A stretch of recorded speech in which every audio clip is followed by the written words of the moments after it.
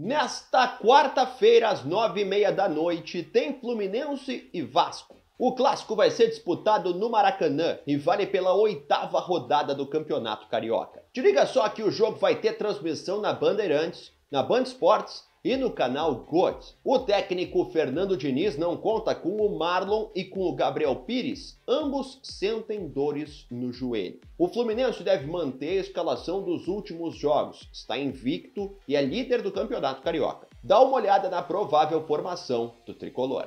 Fábio é o goleiro.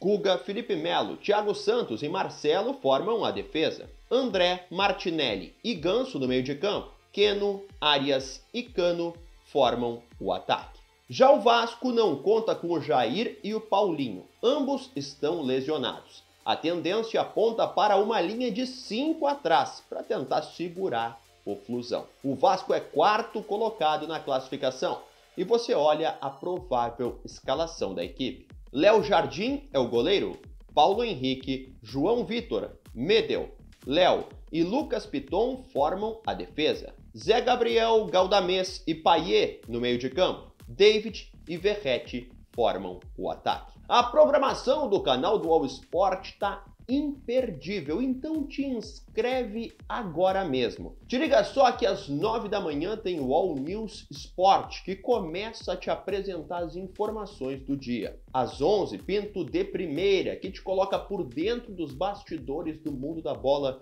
com André Hernan, PVC e grande elenco. Já às seis da tarde, o debate do fim de papo te mostra todos os pontos de vista sobre os assuntos daquele dia e te prepara para o que vai ser manchete no UOL no dia seguinte. Se você curtiu, me deixa o teu like. Não esquece de te inscrever no canal do UOL Sport no YouTube e ativar o sininho de notificações, porque o sininho de notificações te informa a cada novo conteúdo que for publicado. Agora você vai lá nos comentários desse vídeo e me fala quem é que você acha que vai levar melhor no clássico. Vai dar Fluminense ou vai dar Vasco?